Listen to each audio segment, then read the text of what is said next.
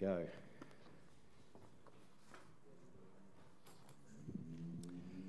Good, how are we doing?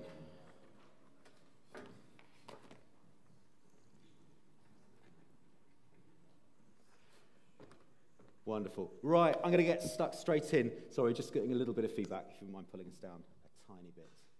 Um, we are continuing our series. We're going straight into it. Encounters with Jesus. I've been loving this series. I've been loving seeing how when people from all walks of life encounter Jesus, they discover he meets them at their place of need. He meets us today at our place of need. He knows what's in our hearts, He knows what's in our lives, He knows what we need. And again, as we've been encouraged through our time of worship, He is the source. He is the source. He is the source of living water. He is the source of life itself. And time and time again, we see people's lives transformed as they simply encounter Jesus. This morning, we're going to look at what happened when Jesus encountered a woman who was dragged in front of him, accused of committing adultery. But before we get into that passage, I wonder what your first memory was of feeling really guilty for something that you did. I was thinking about this, and the first thing that popped into my mind was I was about six years old, thereabouts, and um, I don't know if I've shared this before. I've got a memory, feeling I have, but it's obviously ingrained in my memory. But uh, I was teaching my best friend how to throw. And for some unknown reason, I thought at the time the best way to throw was to hold the object in your hand and spin round as fast as you possibly can. And when you reached maximum velocity, you released the object in your hand, thereby propelling it as far as you can. Um, it kind of worked. But unfortunately, the object was a stone. And I was teaching my friend in the front garden, in our front garden, right in front of this massive picture window. It was basically the whole front of our house was this one big window. And you can imagine what happened next. But behind that very large picture window, my mum was leading a very serious prayer meeting with some of the ladies in the church and uh, I mean, perhaps they were praying for breakthrough. I don't know. But they were not expecting that kind of breakthrough because literally, days before safety glass, shards of glass covered every single one of them in that front room. Everyone was literally just in a state of shock. Kind of shame to say, my first response was to run for it. Um, my friend was holding a stone. Maybe he would get the blame. Um, but my conscience got the better of me. And I sheepishly walked into the sitting room with all these ladies just standing there covered in glass, and I apologized. Now, my mum's reaction might have been a bit different had she not been surrounded by people from the church. But what she said to me was very simple. She said, Stephen, she only uses Stephen when I'm in trouble. Stephen, that was silly, wasn't it? Don't do it again. And she got on her hands and knees, dustpan and brush, and started sweeping up the glass. And we all got stuck in to do that. So, not only is that my first memory of feeling properly guilty, it's actually also my first memory of receiving grace. Because that window was expensive, really expensive. And I knew my parents did not have much money. But do you know what? They never mentioned it again. Never mentioned it again. And do you know what? I never threw stones in that front garden again. Because the thing is, when you receive grace, it has a tendency to change you on the inside. And when we talk about grace, we're talking about not getting what we deserve. In fact, it's more than that. It's getting what we really don't deserve. Favor, forgiveness, love.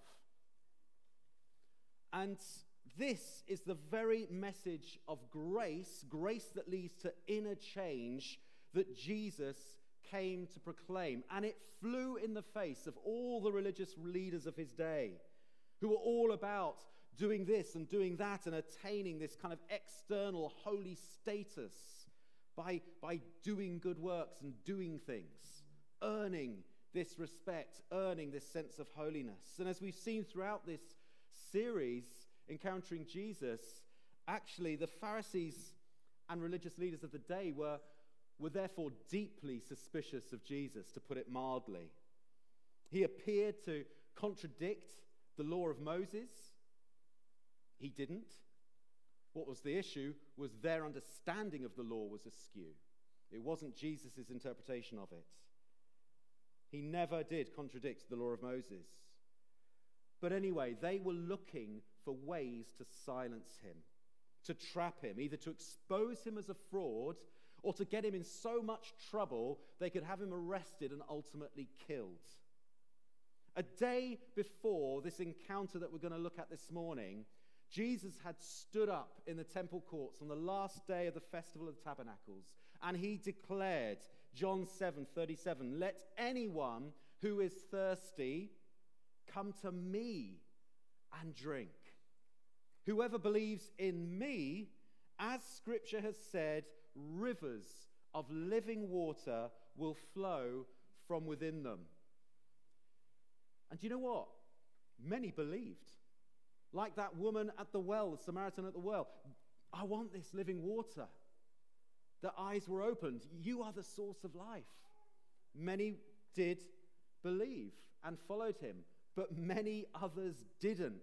And more than that, they heard those words and were like, sounds like blasphemy. He's, he's, a, he's a heretic. He needs silencing. We need to do something about this. This guy needs to be shut down. And so it's within this sort of context that Jesus now encounters this woman. Let's read John chapter 8 from verse 1 to, uh, to verse 11.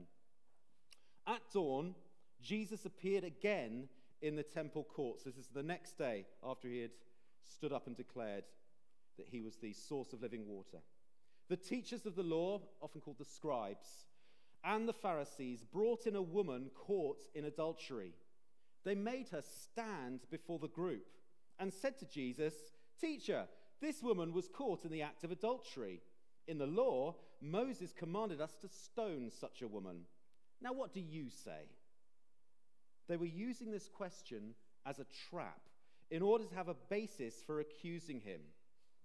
But Jesus bent down and started to write on the ground with his finger.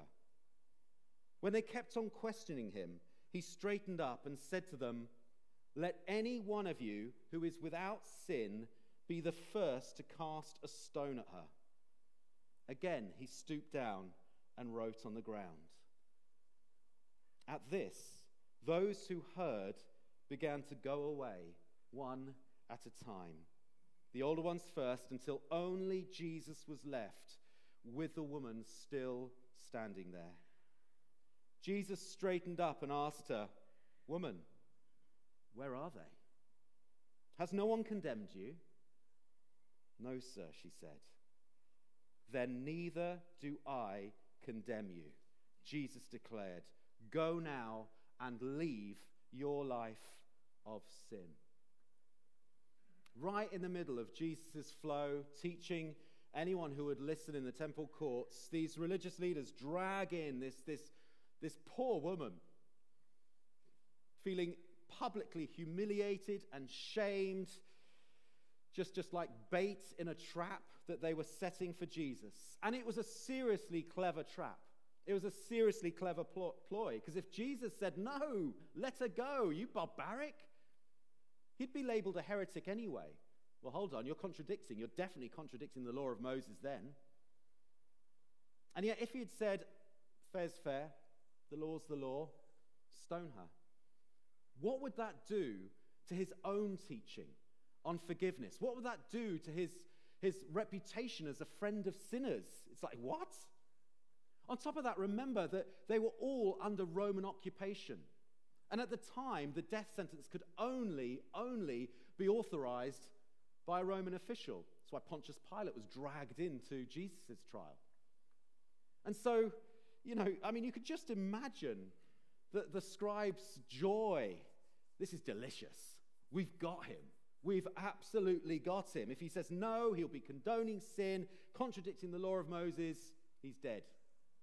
If he says yes, he's going against all his followers, against his people, against his own teaching, and against Rome. He's dead. Win win for them. It's a brilliant trap. And the thing is, the scribes, they knew the scriptures. That's what they did. They were the pros, they were like religious lawyers. They knew every single detail. They used to beat people over the head with it.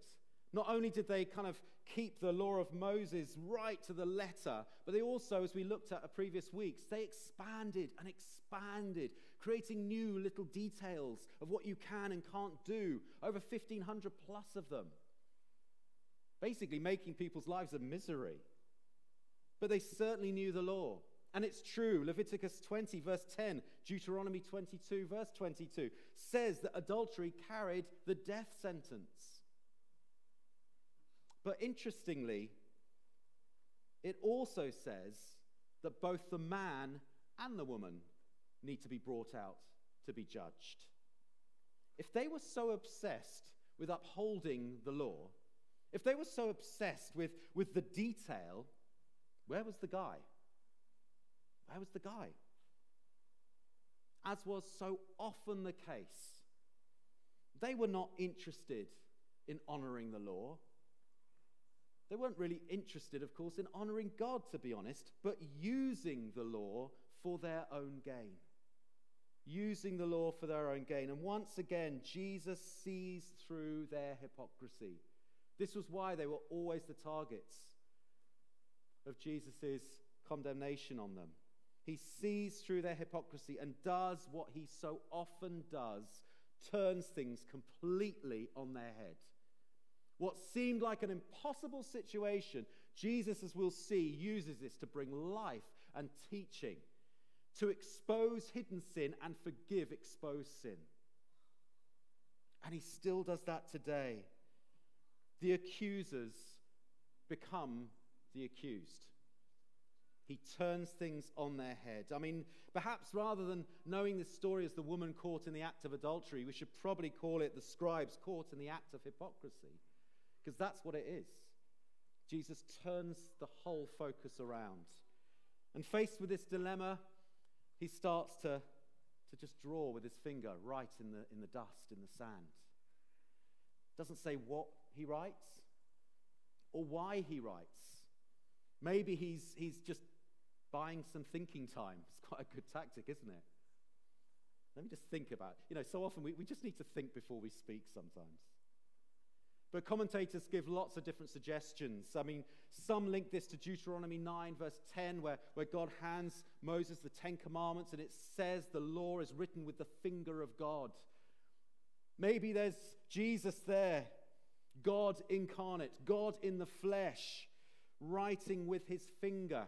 Maybe he was writing out the, the, the, the Ten Commandments. Who knows? Maybe he was pointing out, guys, just be careful here. Think about what you're doing. You're trying to trap the one who actually wrote the law. But a lot of commentators, and I think this probably is, is perhaps even more likely, they point to Jeremiah 17. And in verse 13 of Jeremiah 17, it says this Lord, you are the hope of Israel. All who forsake you will be put to shame. Those who turn away from you will be written in the dust because they have forsaken the Lord, the spring of living water. The spring of living water. And as we've just said the day before, there's Jesus standing up and saying, I'm the source, I'm the spring of living water. And here we now see the very ones rejecting the spring of living water. Maybe, perhaps, he was even writing that passage in the dust. Maybe he was even writing their names in the dust. Again, saying, think about what you're doing. You're rejecting the source of life, just like this writing in the dust. Be careful you don't get rubbed out, you don't get blown away. It's a deeply sobering thought, isn't it?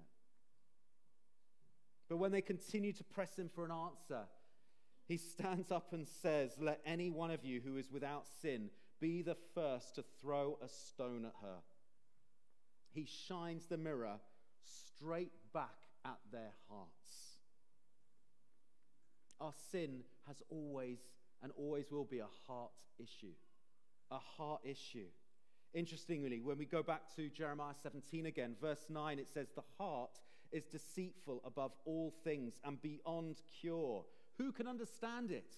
Goes on to talk about God examining our hearts. He sees what's in our hearts. This is what Jesus was doing with them. He saw their motivations, he saw their hearts, and he shone the mirror straight back at them.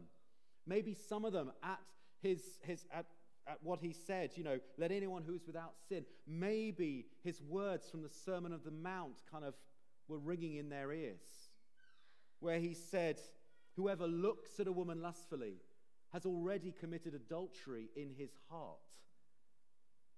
Maybe that just went, oh, hello. Shines the mirror back at their heart.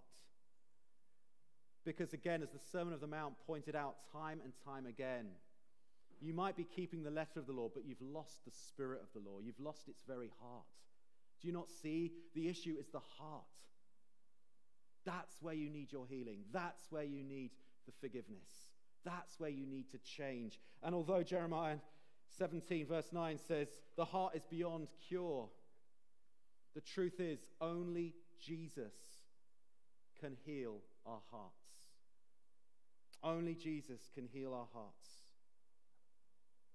But whatever he wrote, every single one of those accusers were convicted in their hearts, and one by one fell away.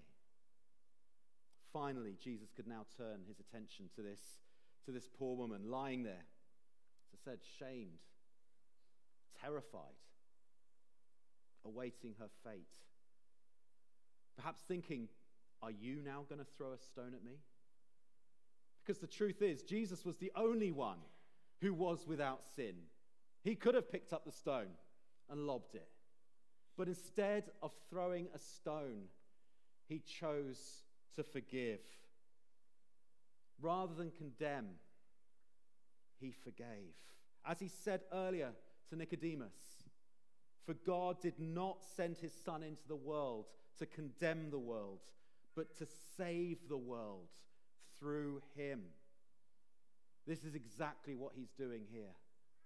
He's just fulfilling his mission, not to condemn, but to save. And he turns to her and says, Where are they? Has no one condemned you? No, sir.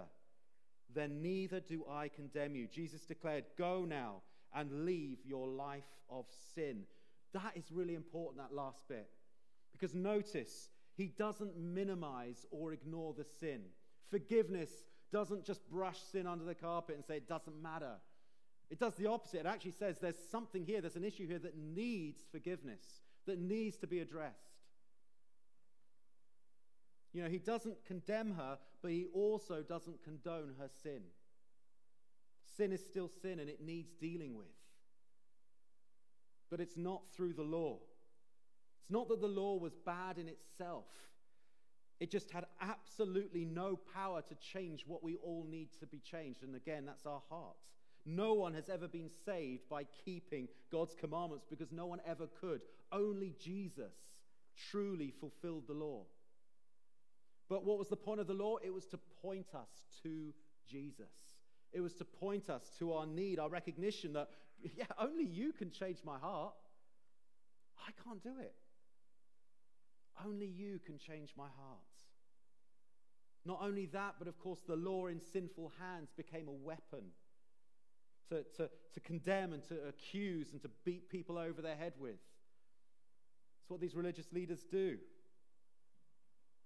Romans 8, verse 3 says the law was weakened by our fallen human nature. Rather than point people to Jesus, people used it as a weapon to kind of belittle others, to make ourselves feel good. And yet, ultimately, it points us, or should point us, to Jesus, the one who doesn't condemn, but actually comes, as we've been talking about this morning, to live inside us by his Spirit. This is the promise of the new covenant. Again, that Jeremiah prophesied about years before. 33 verse 30, 31 verse 33. I will put my law not on a tablet of stone, but in their minds and inscribe it on their hearts. This is an internal change. Again, his contemporary Ezekiel said, I will give you a new heart. I will give you a new heart and put a new spirit in you. So, in one sense, where it says the, the human heart is deceitful and above cure, what's the cure? A new heart, a heart transplant, a complete change, a new spirit as we put our trust in Jesus and, and receive his free gift of forgiveness. Allow his Holy Spirit to do a work in our hearts so we are totally free from the condemnation of the law and all the uncertainty and all the guilt that goes with that. It's the gospel of grace, freely given. Freely, if the law was like this external judge condemning and accusing, grace is like this internal compass, guiding, affirming, empowering. Total change when we receive the forgiveness of Jesus. Yes, forgiveness is a free gift, it doesn't mean it's cheap. It cost Jesus everything, it cost him his life. And the reason that Jesus could say to that woman right there, I forgive you, go and sin no more, was because six months later, he would be nailed to the cross, carrying the very thing she was accused of, carrying her sin, carrying my sin, carrying your sin. She didn't realize it at the time, of course.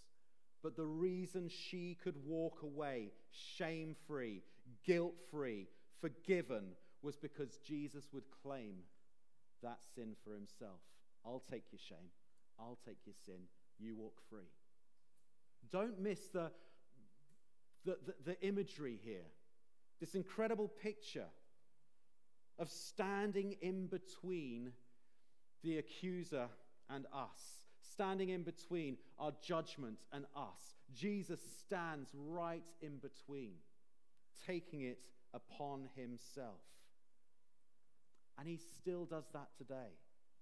If you don't know Jesus, if you've never received his forgiveness, if you've never said, Jesus, I trust in your uh, sacrificial death on the cross, I know you died for my sin. I now trust in you. If you've never received that, Basically, you're saying, actually, I'll take the judgment on myself. Whereas Jesus is willingly offering, I will stand in the gap. Rather than throwing the first stone, he in effect took the first stone, and the next, and the next, and the next. He took the penalty of death upon himself, taking our shame and our guilt and our brokenness, and says over us, Go and leave your life of sin. It's a powerful picture right here between the accusers and the broken woman. It's just a picture of what he does for us, what he's done for us on the cross. Perhaps this morning you feel like that woman broken, condemned, shamed. You know, we can be our own worst critics, can't we, as well? We can condemn ourselves time and time again. I'm unworthy, I'm unworthy. But also, the Bible says we have an accuser, Satan. In Revelation uh, chapter 12, I think it says he accuses us day and night before God. Day and night. And yet, for those who trust in Jesus' total forgiveness, this is what the Bible says over you. Romans 8:33. Who dares accuse whom God has chosen for his own? No one. No one. For God himself has given us right standing before himself. If you accept Jesus' free gift of righteousness, his free gift of forgiveness, there is no one that can accuse you. His blood speaks a better word over you than any other claim over your life. You are free. And please, if you are feeling shamed and under condemnation, and yet you, you know Jesus has died for you, you've, you've, you've, you've, to, you've sought to follow him, please hear these words over your life. Neither do I condemn you. There is no condemnation for those who are in Christ Jesus. There is no condemnation. You are free. You are free. But another aspect of this that um, I find really, really challenging is how often am I just like those Pharisees and scribes? How often am I like them, particularly in this digital age where it's really easy to, to throw a stone because we can do it so anonymously, anon, I even say it, anonymously. Behind the keyboard, it's just lob a stone in there. You know, our culture loves to put people down, loves people to, sh- to shut people down, you know, because it makes us look better, feel better. It's a really ugly side of human nature. You only need to spend some time on Twitter or other social media platforms to, to see that in action. I've, I've just discovered this thing called ratioing. Have we heard of ratioing? It's this weird thing. I, maybe it's just new, but um, it's basically where the ratio of comments to likes are, are taken into account. So the more comments you have against likes basically means people disapprove of your post. So very few likes, but loads of comments because they're all negative. You know, and that's what people look at now. It's the comment to like ratio. So now what we get in comments is people simply writing ratioed, ratioed, ratio to add to the comments to make the comments more than the likes. It's so petty. And then people disagree with someone ratioing, so they're going, I'm ratioing that ratio. And then someone will go, well, I'm ratioing that ratio that's been ratioed. And it goes on and on and on. If you look at the comments on these things, it's like, what is going on? I had to Google it. All these ratio, I'm ratio. And it's this it's basically people stamping their disapproval on your post. Ratioed. It's toxic. It really is ugly, isn't it? And so petty. But it makes us feel good. I'm putting someone down. How quick we are to throw a stone. How quick we are to, to point a finger. Don't think that we are immune from that. God, heal our hearts.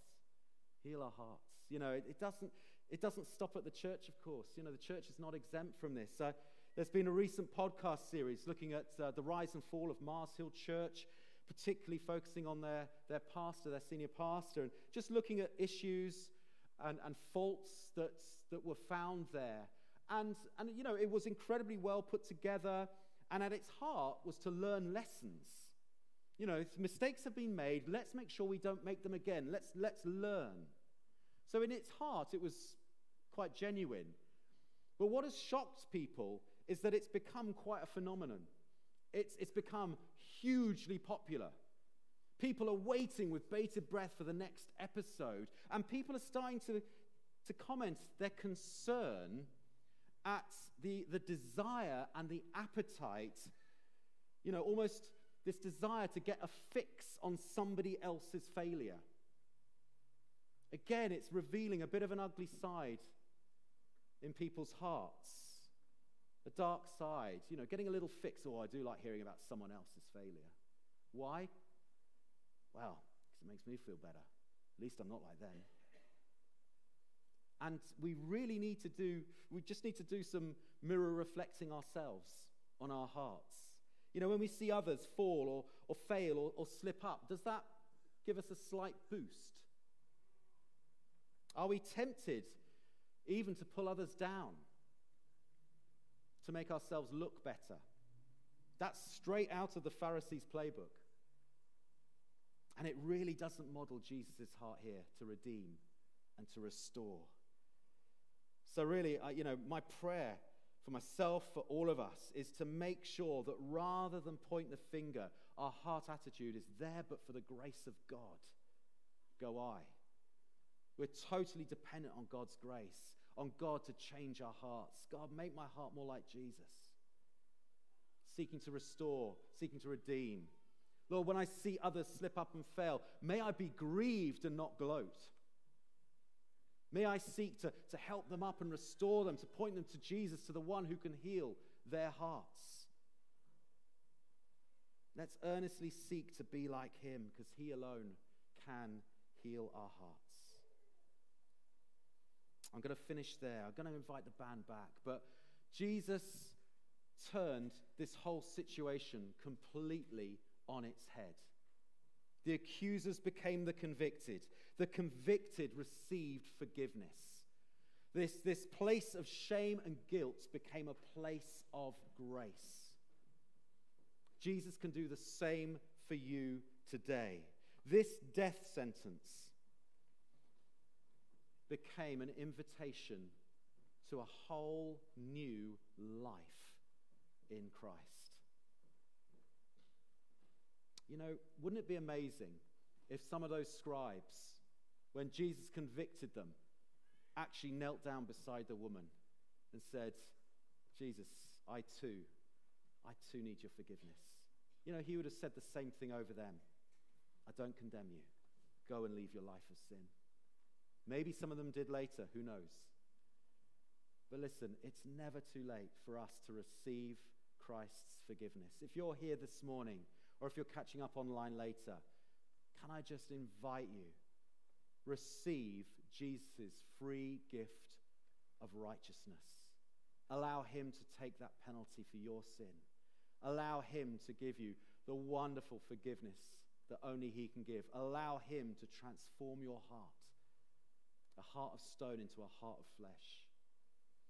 And again, if you're someone who's, who is a follower of Jesus but struggles with shame and guilt, again, just hear those words over you. Neither do I condemn you. Neither do I condemn you. And Lord, I just pray for all of us who, where we're tempted just to throw a, an odd stone, to gloat a little bit. Lord, help us to change our hearts. Holy Spirit, help us to be those that grieve when people fall and seek to raise people up, Lord. We're one body, Lord, and when one part suffers, we all feel it. Lord, help us to be united in you, to be united in that one heart and one spirit, to see you glorified. Lord, let this stamp of your love radiate through all that we do. We pray this in Jesus' name. Amen. Let's worship him, shall we?